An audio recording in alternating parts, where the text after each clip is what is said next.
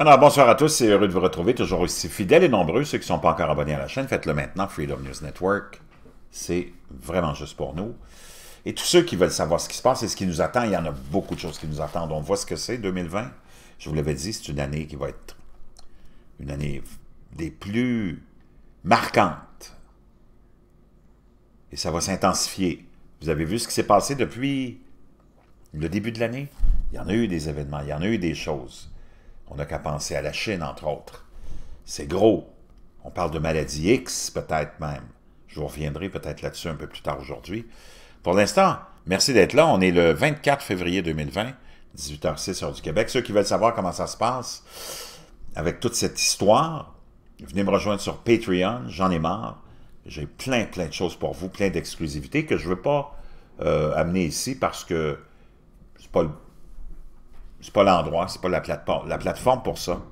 Donc, venez me rejoindre sur Patreon pour tout savoir sur ce qui se passe en ce moment en Chine. Maintenant, un lien qui m'est envoyé par un abonné que je salue et qui est, je trouve vraiment intéressant, surtout dans le monde moderne où on est euh, dépendant de l'électronique, dépendant de l'informatique, dépendant du sans-fil, dépendant, et d'ailleurs la 5G a, s'implante de plus en plus partout. Et ça soulève beaucoup, beaucoup d'inquiétudes pour plusieurs raisons. Ça aussi, j'en parle beaucoup sur Patreon. Venez me rejoindre. Là-dessus, Patreon, j'en ai marre. Tout est relié à l'informatique, tout est relié à la technologie, au sans-fil. Et le soleil devient une inquiétude grandissante à cause de ça et à cause de ces tempêtes solaires qui viennent perturber notre euh, réseau, naturellement. Donc, on envisage de plus en plus euh, d'aller étudier ce soleil-là et pour essayer de le comprendre et pour lancer des avertissements de tempêtes solaires euh, adéquats. Hein. Le soleil n'est pas exactement placide, bien qu'il semble assez paisible dans les regards rapides que nous pouvons voler à l'œil nu. En réalité, cependant, le Soleil est un corps dynamique et chaotique, pulvérisant le vent et les radiations solaires et faisant éruption dans de grandes feuilles de plasma. Vivre dans une société technologique, à côté de tout cela, est un défi. La plupart du temps, le Soleil réchauffe simplement la Terre, mais parfois ces éruptions conduisent à des tempêtes solaires qui frappent la Terre et dans notre monde électrifié et globalement communicatif, ces tempêtes peuvent causer beaucoup de dégâts, potentiellement des milliards d'euros de dégâts rien qu'en Europe, selon l'Agence spatiale européenne, l'ESA.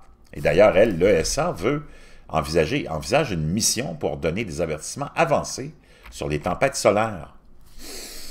La plupart du temps, le Soleil réchauffe simplement la Terre, comme on disait, mais dû à ces euh, cette dépendance qu'on a, il y a des choses que nous pouvons faire pour protéger notre réseau électrique, nos systèmes de communication et nos autres infrastructures contre les tempêtes géomagnétiques causées par le Soleil, mais nous devons savoir quand on vient, quand la tempête vient.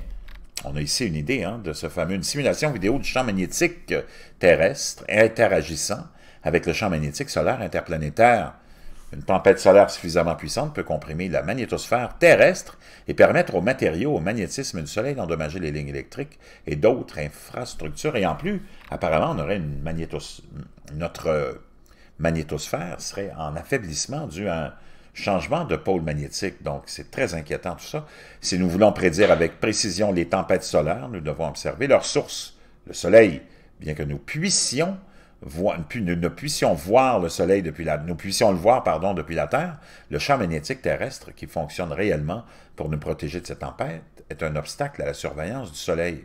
L'atmosphère bloque les rayons X, les UV extrêmes et les rayons gamma du Soleil, ce qui rend également plus difficile l'observation détaillée du Soleil. Ce n'est pas que les observations au sol du Soleil ne peuvent pas nous parler du comportement du Soleil et des tempêtes solaires imminentes, c'est juste qu'elles ne peuvent pas le faire seules. Les satellites à l'intérieur de la magnétosphère terrestre, mais à l'extérieur de l'atmosphère, peuvent également aider, mais ils prennent des mesures en situ et ils ne font pas de prévision. Le SA prévoit une mission qui nous avertira à l'avance des tempêtes dangereuses. Pour être plus efficace, il doit être dans l'espace, loin de la magnétosphère terrestre. La mission s'appelle Lagrange. Et pour le moment, l'ESA envisage une paire d'engins spatiaux. L'un serait assis sur Lagrangian, point 1, et l'autre sur Lagrangian, point 5. Les points Lagrangiens, Terre, Soleil, pas à l'échelle d'un des vaisseaux spatiaux proposés, seraient assis à L1, alors ici, en position frontale face au Soleil, l'autre serait assis à L5, ici, et gagnerait en vue latérale importante, le vaisseau spatial montré à L2, et le WMAP de la NASA. Les points de, Lagrange sont des emplacements spécifiques dans l'espace où la force gravitationnelle de la Terre et du Soleil s'équilibre et un vaisseau spatial peut rester dans cette position pendant longtemps avec une consommation de carburant minimale. Il existe déjà plusieurs vaisseaux spatiaux en L1 et L2 et d'autres sont à venir. Il y a le télescope spatial James Webb qui sera déployé, à L2. Le Soleil éclate parfois et émet de vastes globes de matière avec des lignes de champ magnétique à partir des éjections de masse coronale. La plupart de ces globes ne viennent pas près de la Terre, mais parfois on nous frappe. Et cela provoque une tempête géomagnétique ici, alors que l'explosion du Soleil submerge temporairement la magnétosphère terrestre. Mais ces conditions ou ces tempêtes ne viennent pas de nulle part. Il commence avec des conditions observables sur le Soleil. Le Soleil a un cycle de 11 ans et euh, la partie de ce cycle avec le plus d'activité solaire et de potentiel de tempête est appelée le maximum solaire.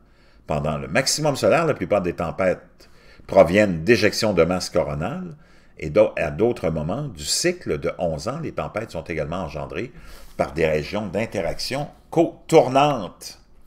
Soleil avec une, énorme éjection de masse coronale. Mais quelle qu'en soit la cause, ils viennent tous du Soleil et les prédire avec plus de précision est dans l'intérêt de tous.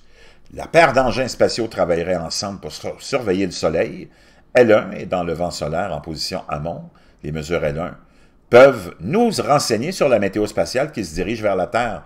La position L5 nous donne une sorte de vue latérale des éjections de masse coronale et qui permet de meilleures mesures de la vitesse et de la direction de ces euh, euh, éjections de masse coronale. Ensemble, ces informations signifieraient de meilleures prévisions. L'une des meilleures façons d'observer une activité solaire en évolution rapide est de positionner un vaisseau spatial dédié légèrement à l'écart de notre ligne directe vers le Soleil, afin qu'il puisse observer le côté de notre étoile avant qu'il ne tourne en vue, a déclaré Jua Pekka Luntama, responsable de la météo spatiale au centre de contrôle des missions de l'ESA. Le vaisseau spatial L1 mesurerait le matériau réel de la tempête en direction de la Terre et pourrait échantillonner sa vitesse, sa densité, sa température et sa pression. Il peut également mesurer la force et la direction du champ magnétique interplanétaire, qui est la partie du champ magnétique solaire poussée dans l'espace par le vent solaire du Soleil. La position LE permet également au vaisseau spatial de regarder le disque solaire et la couronne et de mesurer les particules énergétiques du Soleil. On peut le voir ici.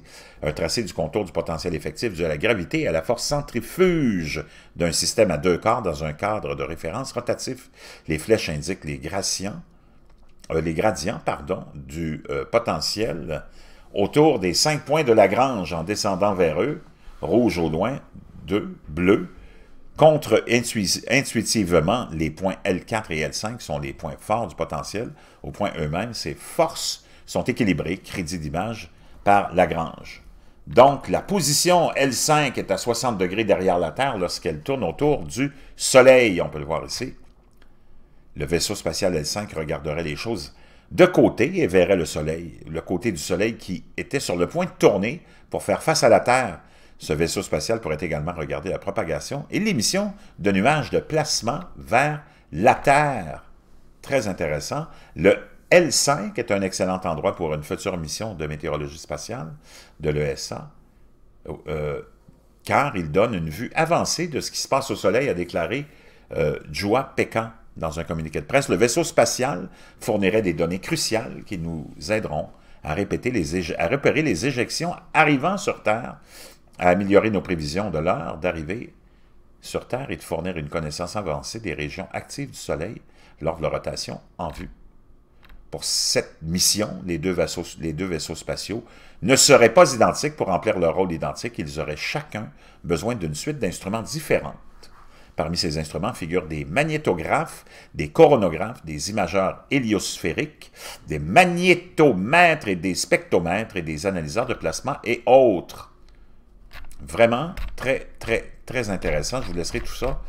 On essaie de comprendre ce qui se passe parce que naturellement, on voit qu'on est vraiment, vraiment vulnérable avec la technologie à laquelle on s'est accroché, avec en plus le soleil. Si on entre dans une phase de 40 ans de minimum solaire qui devient un grand minimum solaire avec un soleil dont la magnétosphère est affaiblie et qui laisse passer de plus en plus de masse coronale, je peux vous dire une chose, on n'est pas sorti de l'auberge. C'est pas le grand maximum qui est inquiétant là maintenant, c'est le grand minimum. Et c'est ça le punch que ces gens-là vous donnent pas, mais que je vous donne ici.